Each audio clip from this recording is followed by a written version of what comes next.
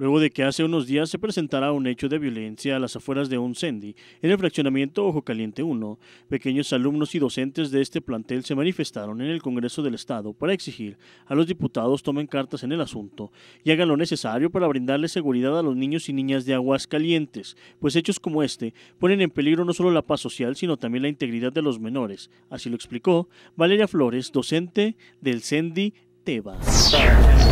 Muy bien, nosotros venimos eh, con los niños y las maestras a escuchar la sesión sobre los derechos de los niños, pero más que nada a pedir seguridad y paz para ellos, ya que últimamente, bueno, en esta semana nos vimos en una situación de que enfrente de la guardería donde nos ubicamos hubo una ejecución por parte del narcotráfico, ya que la persona dueña del local no quiso pagar derecho de piso.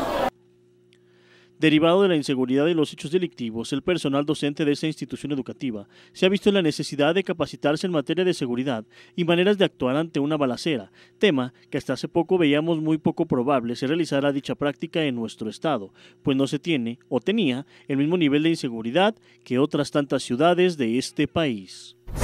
Así es, nos preocupa principalmente porque los papás llegan a la guardería seis y media aproximadamente de la mañana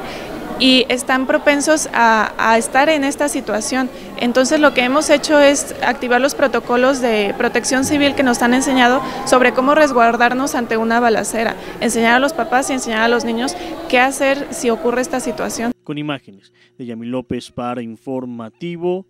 Adrián Martínez.